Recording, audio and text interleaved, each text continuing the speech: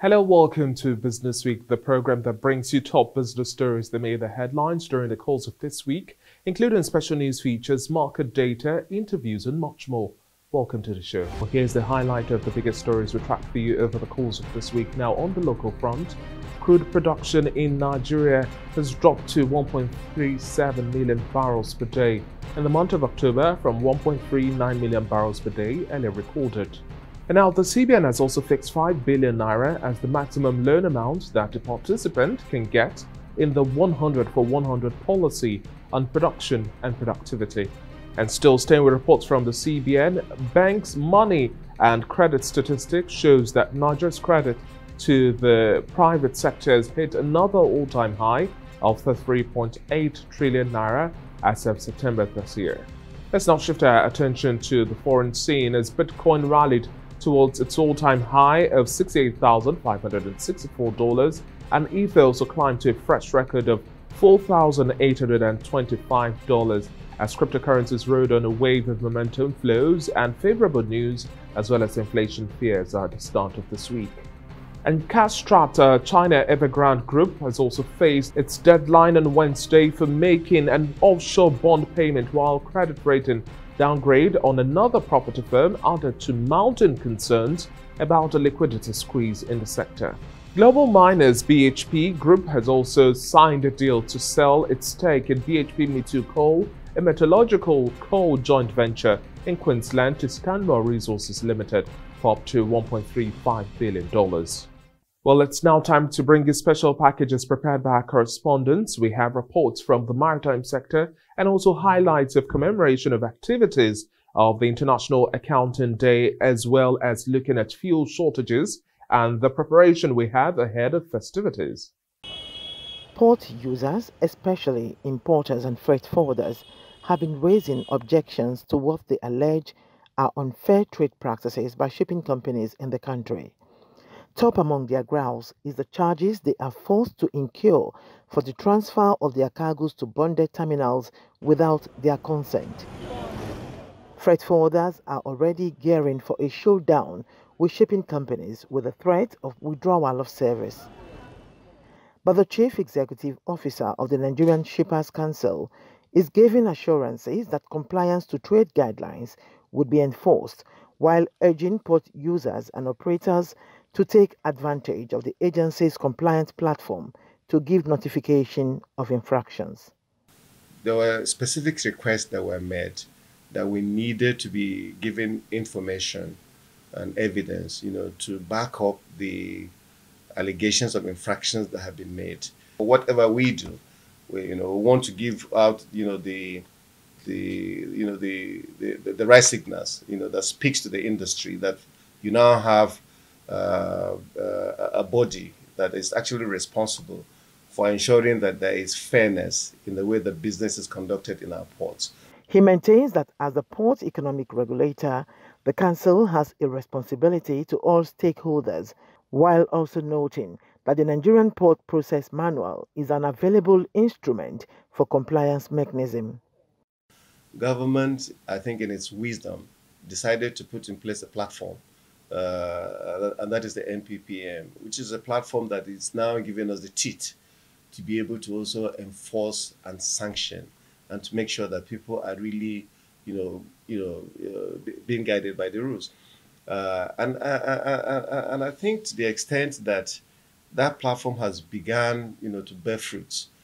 He further states that the Nigerian Shippers Council still retains the mandate to ensure businesses are done at less cost but efficiently at the nation's seaports.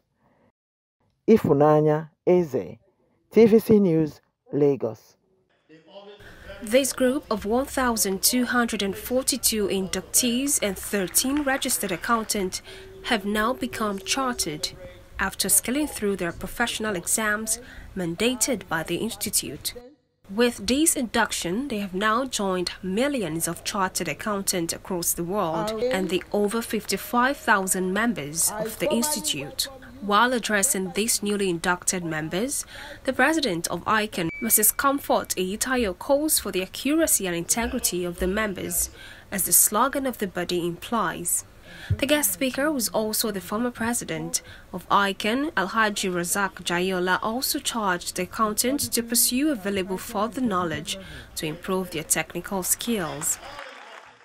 You must tread the path of honor when conflict arises between your professional dictates and the urge to undermine the oath you would swear in allegiance to high ethical and professional conduct.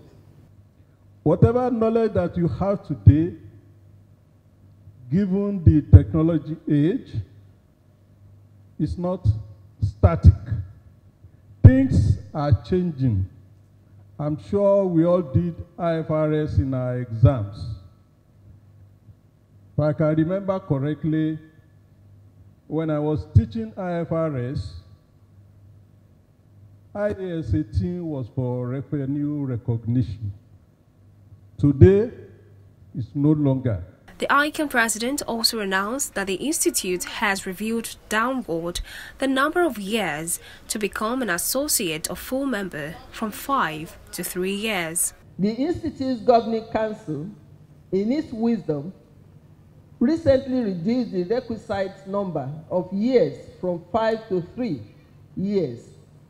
I encourage all our registered accountants to take advantage of this opportunity.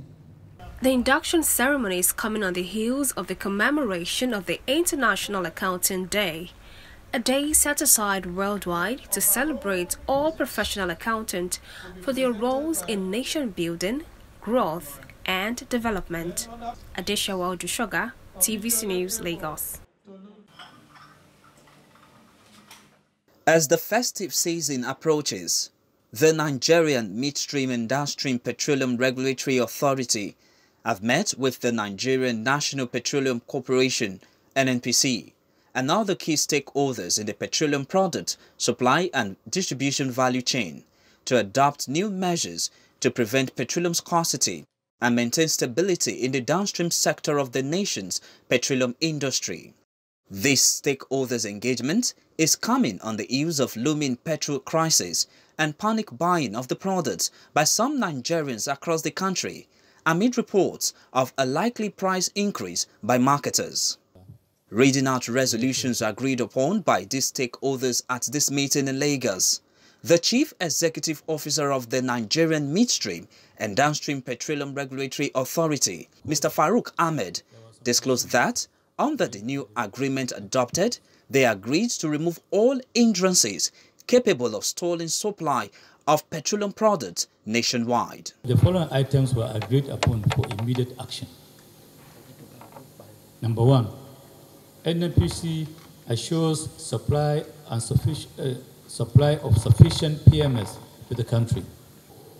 Nigerian Midstream Downstream Petroleum Regulatory Authority to engage stakeholders on the reconciliation of bridging claims.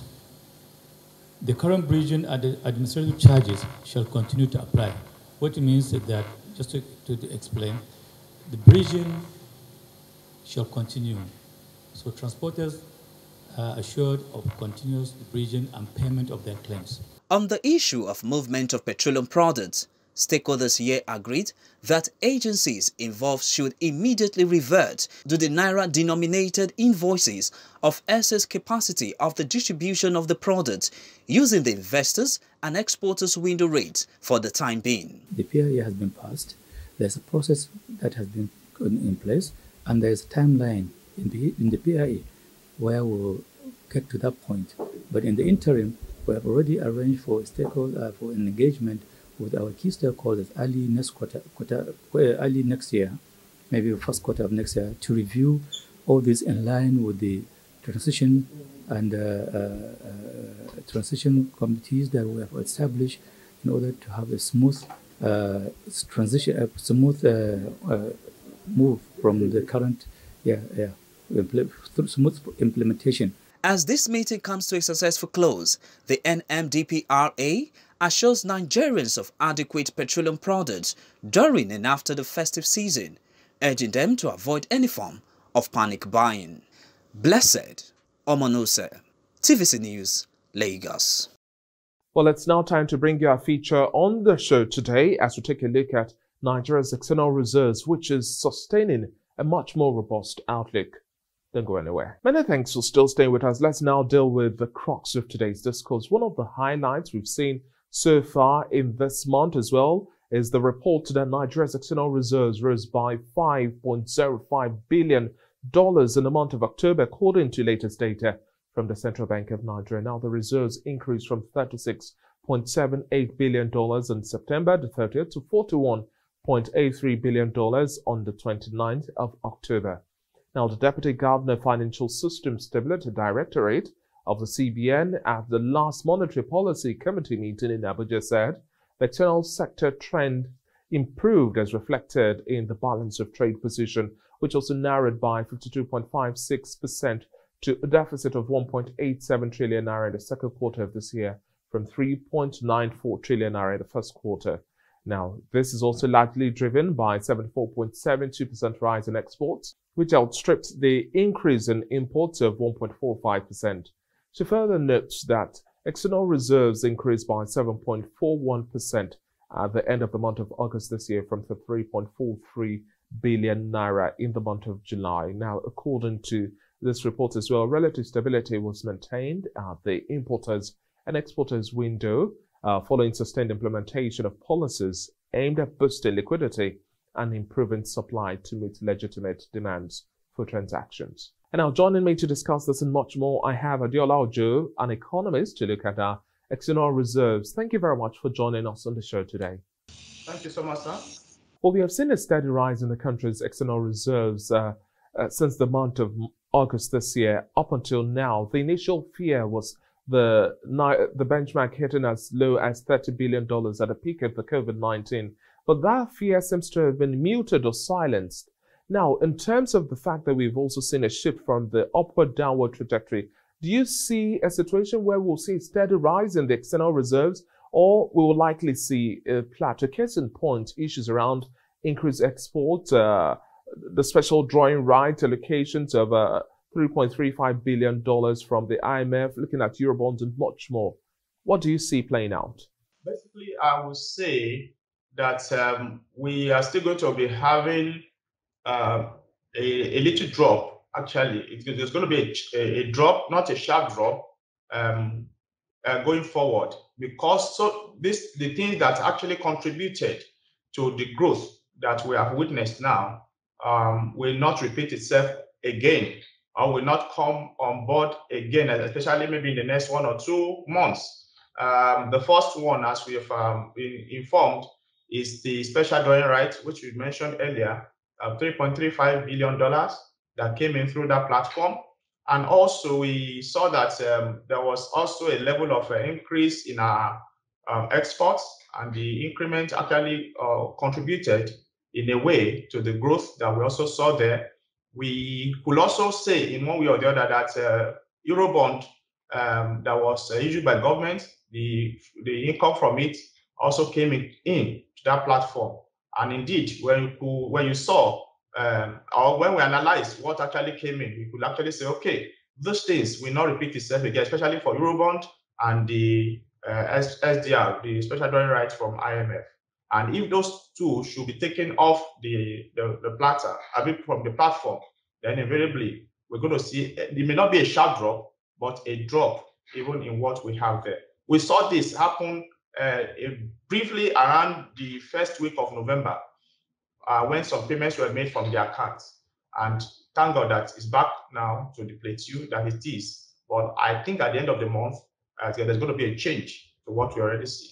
And now, but some also argue that irrespective of the absence of the volume that we are seeing from the likes of the special drawing rights come next month or the preceding months into the new year, it would only be a small marginal decline we'll likely see between this month and next month. Others also argue that despite we've seen some increase in our export base and earnings just a little bit, uh, not enough has been done to consolidate the export base to become a much more sustainable base for more foreign exchange influence. What are your thoughts on these?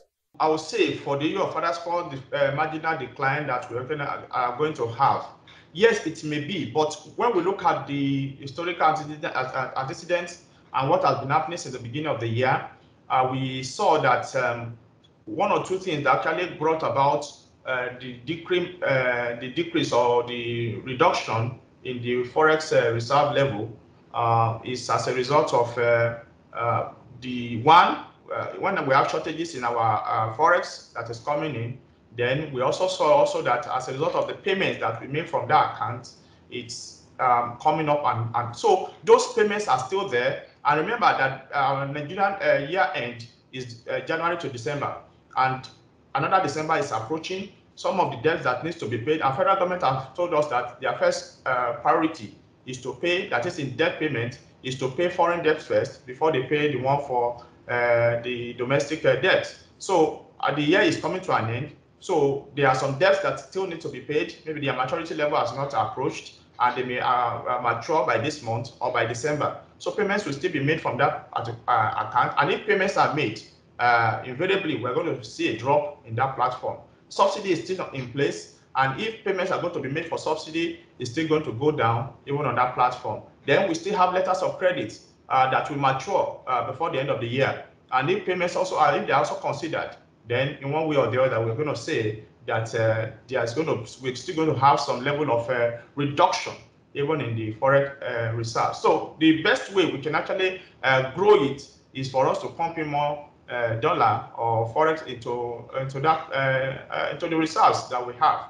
And how do we do that? Looking at antecedent and historical antecedent of forex management in Nigeria, um, we may not be able to have much even to come in substantially that it just came in in the last two months. We saw that happen from January up to July. And apart from those little things that happened around August, September, uh, October that we saw that we are reporting now, there's nothing much substantial that we think may actually happen after now. Okay, now, how do you also see us beginning to have much more liquidity in the forex market and improve uh, supply for legitimate demand as well? We need to just really silence this noise of uh, forex scarcity, this menace, this bottleneck stifling businesses. Take sectors like the manufacturing and aviation sector. They're badly hit by these forex issues in the country. Uh, for us to be able to say we want to boost the uh, forex um, in the country, that how to how can we increase or improve on it? I think the first thing I would suggest is that we need to, and that has been what every other person across the world have been shouting, and be also telling Nigerians and the Nigerian government and the monetary authority, we need to unify. We need to unify the forex uh, exchange market. Um, I would suggest that as of now, especially with the things and, and the way I'm uh, manner we have um, dealt with the bureau de change, uh, we actually see that most of the instability that we've seen is actually from that angle. And um, demand has not been met supply is short, and we have so many uh, unstable situation around. So I would say we should unify the, the, the, market, find a way to, to bring everybody, if possible, under the investors and exporters window, I in window, so that everybody have access to the same platform, just like the stock exchange. We have access to this common market. Everybody now we, we want us to bring things bring money into the economy. Want us to increase for so let everybody have a common market where both the supply and the demand of uh, uh, forex uh, either dollar or pounds or whatever can be available. Then we all assess it. And you know in the process of assessing or either for demand or for supply then the pricing will be done rightly then everybody will be happy for it wrapping up our conversation at this point in time, let's now look into more incentives or initiatives and efforts by the CBN to bring a bigger pull into the external reserves. Now, in your own assessment, what do you make of the volume we've seen from the Naira for Dollar initiative and how much you think this is also likely bringing a more sustainable pull to the purse? And what other incentives or initiatives do you think we can see beyond uh, diaspora remittances?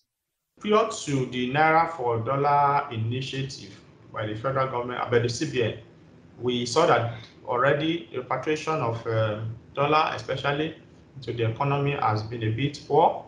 Many people are trying to do a whole lot of things, um, trying to find alternative ways of uh, getting dollar. And some people are actually having uh, offshore accounts to keep this dollar um, in order for them to be able to meet the needs. And as a result of that, the economy is suffering. So the their policy actually helped to um, encourage some Nigerians and some also other uh, partners with Nigeria to be able to bring in dollar through the official channel. And as a result of that, we saw a, a, a jump, that is an improvement in repatriation uh, for the first period, even for the first weeks, and even till now. And I think that as a result of the good, um, the results that they got. That was why CBN actually had to extend it in May. Uh, when they first started in March, and they said, okay, they saw the good results, they saw the, the, the level of uh, returns, they now said, okay, please go ahead, going forward. This is a good initiative. And remember that before then, they are put into place, uh, they have registered and they have licensed some IMTOs, the National Monetary Transfer uh, uh, Organization or whatever, or that, or whatever, to be able to um, bring in, to be able to help to repatriate funds. And those funds are still there. So uh, all the initiatives that are put in place, I think the result has been good. But like I said, and I will still restate here, it is not the best. Many people still do underground work. And lastly, now, one of the biggest issues, the elephant in the room, is the fact that we cannot chew this away just easily. The oil price rally we've seen in the market is robust, hence, uh, more money for Nigeria. But simultaneously, we also have an immediate dip into that pool as you see uh, the fuel subsidy regime still persists. We're still repaying loans and a whole lot more. Now, looking at uh, the 2022 budget proposal already presented and under scrutiny, uh, we don't have any provision for a subsidy regime following June 2022. Some also say that, well, we might likely see an extension. How much of a buffer do you think we'll see by the time we have an end to the subsidy regime? How much do you see coming to the external reserves? At one time or the other, there are some payments that are important that needed to be taken from those platforms. One of it is uh, we government is to pay for subsidy. It goes in. So subsidy is one little element of that. Yes, most of the time we say we are paying. How much is even the subsidy we are paying? When we calculate it in naira, we say it's much. Oh, 100 billion, 1 billion naira, or 200 billion naira is what we are using as subsidy. It is not enough to look at other the accretion that we see. Subsidy is only minute. Even the Commonwealth, uh, the Washington Convention, sir, in economics, Washington Convention uh, even spoke about the issue of subsidy. There are things you should subsidize to make your economy better. Especially, for example, one of the things you should subsidize are things that can tilt, that affect the people ordinarily. And you know, in Nigeria, crude oil prices, uh, the prices of your uh, petrol, whatever, goes a long way to determine a lot of things in this country. And you know, the purchasing power of your people is not much. So subsidy shouldn't be a major point for. Yes, you say remove the subsidy, but when you remove the subsidy, what happens to the people? What happens to the people? So please, sir, let us. I just want to uh, appeal to the people, to the government. Yes, let us grow, but the major thing that takes money from the foreign reserve is not subsidy. It is not subsidy. It is public debt, payment of foreign debt, and we should look at that going forward. Well, thank you very much for your time on the show today, Adeola Ojo. It's been a pleasure speaking with you. Thank you so much, sir.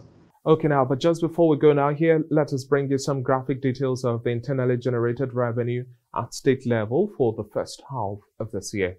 A report prepared by the National Bureau of Statistics.